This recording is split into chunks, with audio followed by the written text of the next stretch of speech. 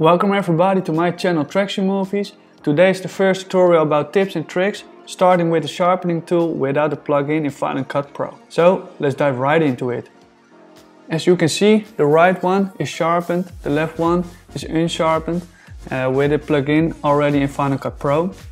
Today's tip and trick is about using the sharpening tool twice on the same video instead of doubling the amount of sharpening. This will give you a better result I think. As you can see on the right video, is more sharpened than the left one, using double the sharpening effect at this beginning amount of 2.5.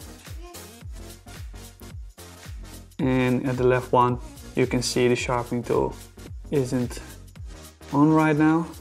And I also used the sharpening tool on the same video, but with doubling the amount.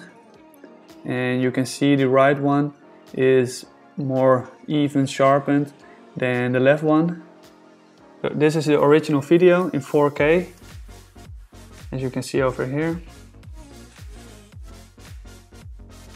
And first, starting with zooming in, because it's 4K, we can zoom it in and still keep the quality at uh, HD. Grab the sharpening tool, leave it on the video and I left it on the 2.5. As you can see, you can also try it on 5, but we're now going to leave it on 2.5. We're going to edit it twice. And actually that's really it.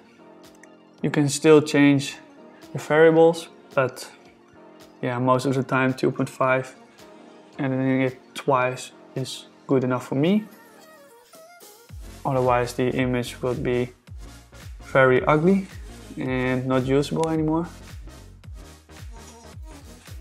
So yeah, I hope this is a good tip and trick for you guys.